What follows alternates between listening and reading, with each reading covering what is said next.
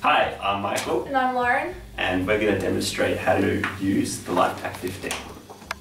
Free shift check. Check, check, check. Before the commencement of every shift, it's important the clinician does a systematic check of the LifePak to make sure it's ready for road. First off, the clinician will inspect the unit visually, making sure there is no signs of damage. No damage. Next, the clinician will inspect the leads and cables for any damage.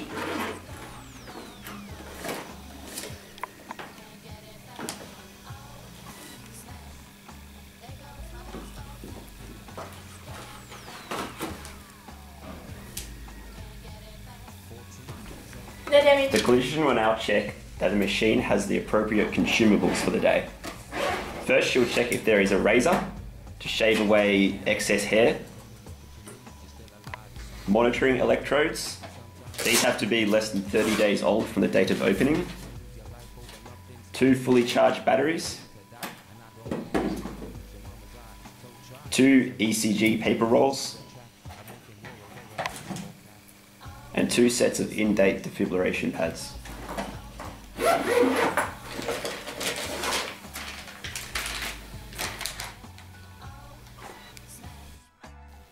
To see the amount of available battery left, push the soft button at the back of the battery pack to light up the LED indicator. Before your shift, make sure there is over 3 bars left. To perform a user test, press on. Select options by pushing the options button. And then use the scroll wheel to dial to user test. The LifePak 15 will now perform an automatic self-test. Which looks like this. How did the user test go, Lauren? Test pass. Ready for The road! following clip describes when to use a cardiac monitor. A warning, images may be distressful to some viewers. There are many indications for the use of a four lead ECG. They include a decreased level of consciousness, shortness of breath, chest pain, trauma, acute coronary syndrome, dysrhythmias, and syncope.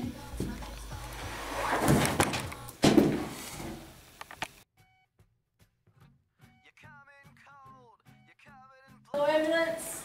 Danger. No danger. Hey, sir, can you hear me? Sir? Hello, can you hear me? Open your eyes. Oh my goodness. What happened? Okay, you just had a loss of consciousness. Okay, you're at home at the moment. I'm monitoring the ambulance service. The patient is post syncope, and this is grounds to have a four lead ECG. The first step is to prepare the patient. First, the clinician will have to gain consent to do the following procedure. Lauren will pat down the electrode sites to make sure they are completely dry and shave away any hair.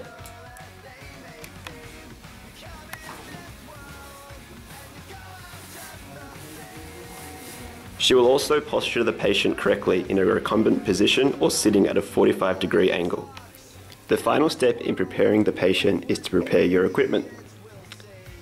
So I'm just turning the LifePak on now, and I'm going to attach the electrodes to the leads. Okay, so we can put them on your limbs, and then you'll be able to see your heart rhythm on the monitor here. Okay.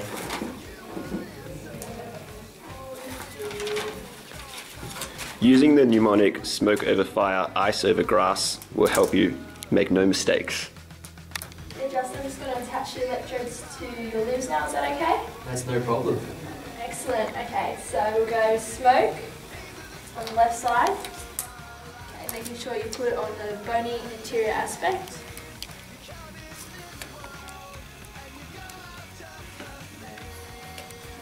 Over fire. We go snow.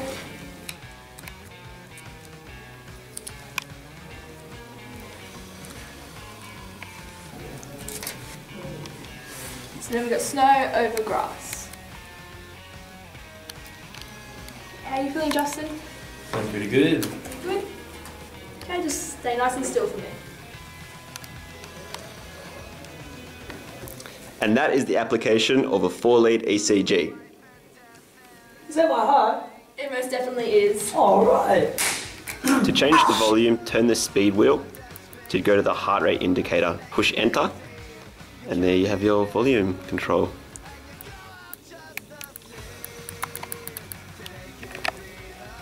To enter patient details, press options.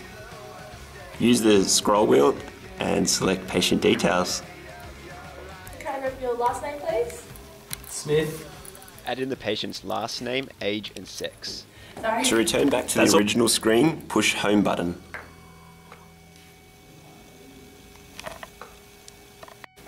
To mark important events, push event button. Here you can add in medication, time of CPR, time of defibrillation shocks, etc. At the end of every job, it's important to print a code summary by pushing the button code summary. This will print out all the important events, has the patient's name and sex on it, and all the information the doctor will need to know for your patient handover care report. The application of a 12 lead ECG is the same process, except at first you have to push the 12 lead button and then use the scroll wheel to put in the patient's age and sex.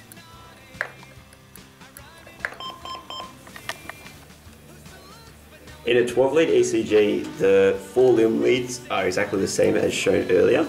The V1 is in the fourth intercostal space, right of the sternum.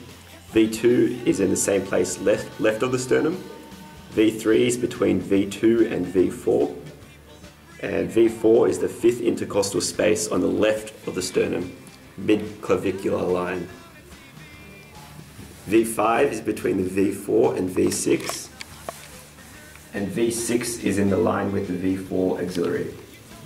Finally, to print a 12 lead ECG strip, all you have to do is push the 12 lead button on the monitor. It takes about 30 seconds and then it'll print a strip.